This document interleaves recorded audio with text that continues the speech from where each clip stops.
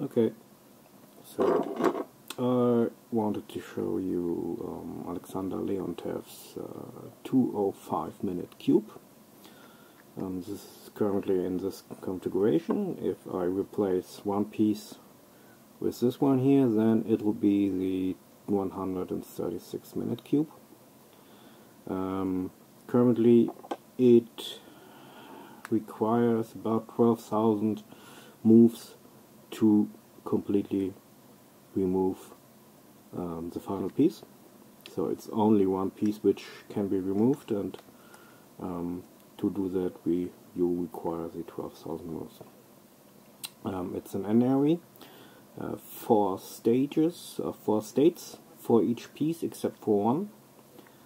Um, and that explains the number of moves um, I'll show you just how many moving pieces. So we have one, two, three, four, five, six, seven, eight, nine, ten, eleven. As you can see, this one here moves further out. This is because this one here only has two states, in and out, and every other piece has four states. Um, this is the last piece, which is currently not moved at all currently. This is the final piece which has to be removed uh, and can be replaced with this one. So as you can see, um, these pieces have a maze in there. Here's a pin sticking out into the maze. Meaning if I want to remove this piece here for example if, if the 136 minute uh, piece would be in then I need to remove this piece here completely up down again and then I can remove this one so up and down.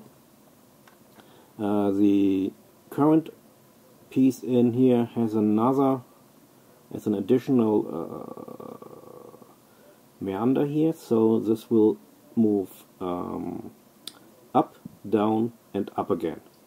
And that explains because um, the 136 minute is 8000 something and uh, the 205 minute is 12,000 something moves. So and the initial piece here can be moved completely out and in. And because the pin is sticking right in here um, this piece and every other piece has four states. This is the first piece. This is the first move uh, uh first state. So in first state. Second state. Fourth state so as you have seen, I have to move this piece in and out four times.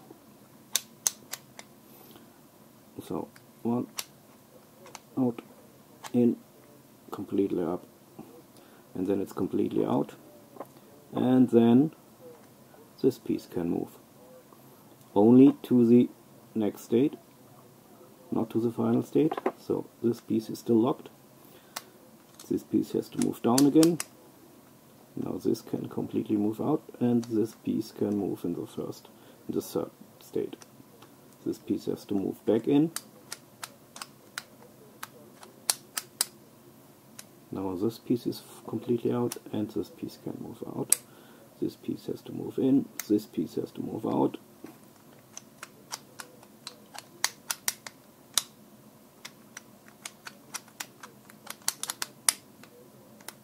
And now this piece can move out and so on and so on and so on and so on.